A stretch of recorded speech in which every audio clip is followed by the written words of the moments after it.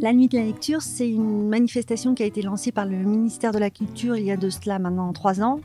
Et à Châtillon, c'est notre première édition cette année. Le but, c'est de mettre un éclairage sur les médiathèques et les librairies, comme il existe déjà euh, une nuit des musées par exemple.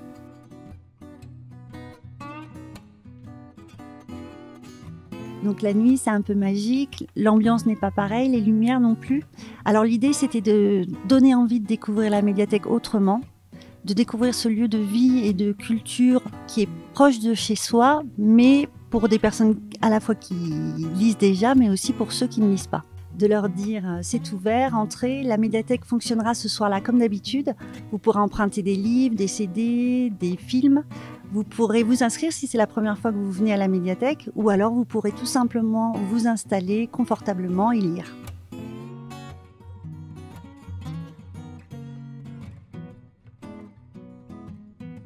Alors nous avons débuté cette soirée à 19h. Pas de thématique pour cette soirée. Ce que nous voulions, c'est des animations variées pour tous les âges, en tentant de nouvelles expériences, en essayant de surprendre notre public et puis euh, aussi en essayant de le faire participer activement. Ainsi, nous avons commencé par euh, des lectures à voix haute pour les plus jeunes.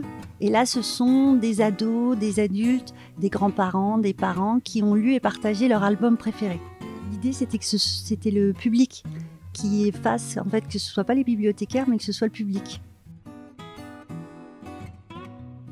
Ensuite, pour les ados et les adultes, une première expérience de speedbooking. Donc, qu'est-ce que c'est que le speedbooking? C'est euh, à l'image du speed dating, euh, des participants qui partagent leur coup de foudre, mais là, non pas amoureux, mais culturel.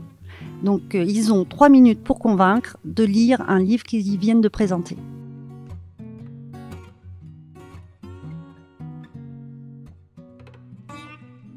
Public soit surpris. Alors en sortant des transats en plein hiver, mais aussi en disposant euh, des tentes pleines de livres un peu partout dans la médiathèque. Euh, le comité jeunesse s'est beaucoup investi et euh, a travaillé, a préparé des lectures justement pour lire sous ces tentes, mais aussi il a tenu un bar à tisane et puis il a proposé des, des gourmandises sucrées au public.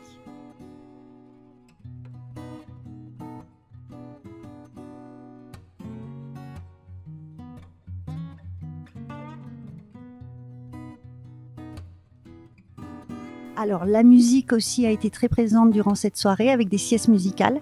Alors nous avions installé des transats euh, dans l'espace et le public a été bercé par le son de la harpe, du basson, du violon, euh, joué par les élèves du conservatoire.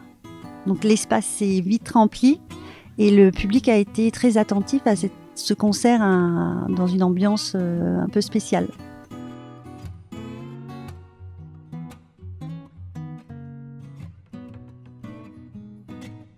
Calls de Timothée Hocher, ça se passait dans l'espace numérique. Le lecteur se trouvait face à un ordinateur, un casque sur les oreilles. Nous avons éteint la lumière et là a commencé un court métrage euh, un peu angoissant et donc on suit une conversation téléphonique entre une personne qui se trouve à New York et euh, euh, son ami en France. Donc la personne fait du babysitting le soir et elle parle à son ami et dit il y a quelqu'un dans le jardin.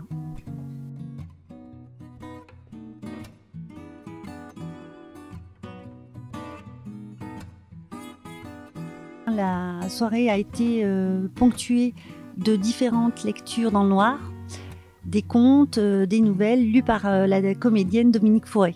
En fait, on a commencé par, avoir l'idée de faire des lectures dans le noir et après on a cherché une comédienne qui serait intéressée par ce projet pour faire une expérience un peu aussi de lecture différente. Voilà.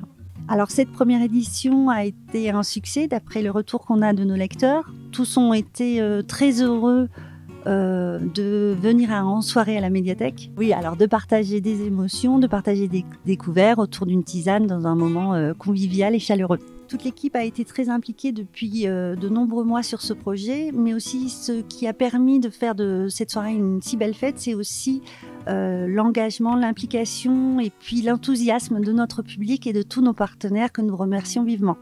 Merci de nous avoir suivis et puis surtout euh, abonnez-vous à la Web TV de Châtillon pour connaître toutes les actualités euh, de, de notre ville et puis à très bientôt à la médiathèque. Ça va?